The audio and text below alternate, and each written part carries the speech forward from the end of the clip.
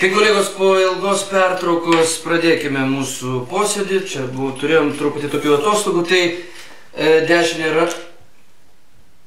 dešinę ranką pakelkim. Gerai. Prisiekiu ir toliau būti geriausia, kas galėjo atsitikti Lietuvai ever. Prisiekiu!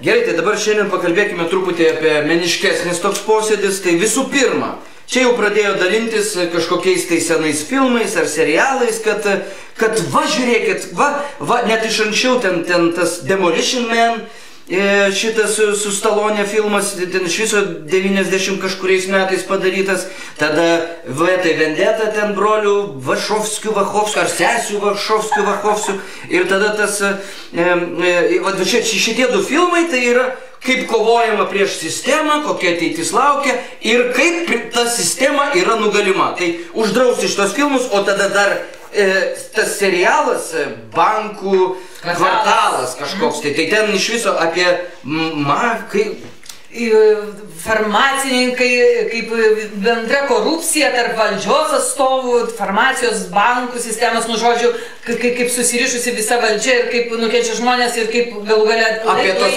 Apie tos pačius skiepus, Taip, kaip ten atsit mafijos valdomi ir kaip su valdžia susiję. Žodžiu, e, pasiruoškime, ne šitam dar reikalui. E, Siūlau, siūlau kolegos namų darbams, nes yra iš tikrųjų ką drausti la- ir peržiūrim, kiek kai tik turim laisvo laiko, ką mes dar galime uždrausti, todėl kad tikrai yra ką drausti. Bet kol kas žiūrėti Forbidden.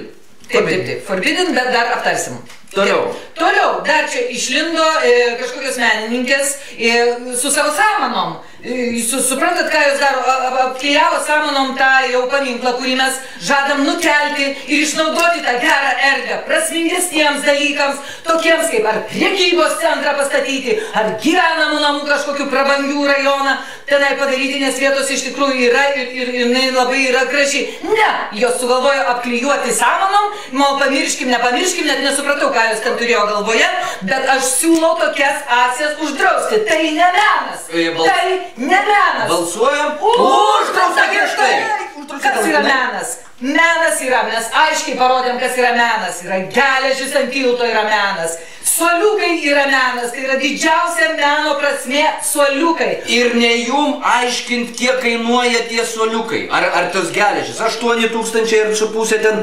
Ar, ar 20 tūkstančių už soliuką. Tai menas kainuoja. Čia kapeikos, kapeikos, tikrasis menas tikrai kainuoja. Niekam, kad nieks neaiškintų mums, kas yra menas, mes žinom geriau. Taip, taip, taip, taip. Ir čia, čia ne, nepradėsim čia su visokiam akcijom. Gerai, ir dar tada, dar tada ta e, basų, basų kojų akcija.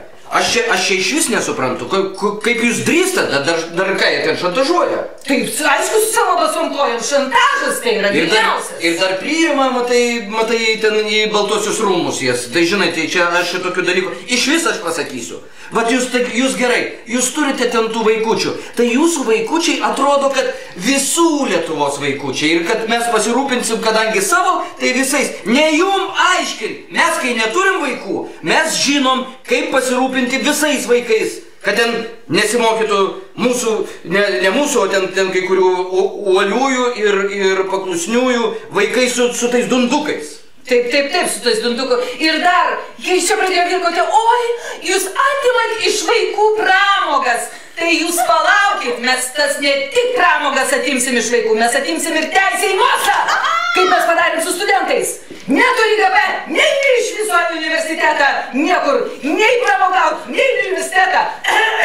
Atsiprašau, tai mes lygiai tą patį padarysim ir su vaikais. Kol kas pramogos atimtos, o paskui ir teisė į mokslą. Nieko jiems mokytis. Jokio gamtos pažinimo. Nu, nu, Nu, labai noriu šiandien noriu pasidžiaugti.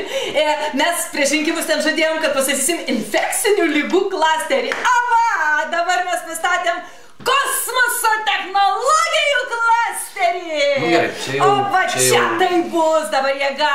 Mes įsisuksim į tą multimilijardinę globalių technologijų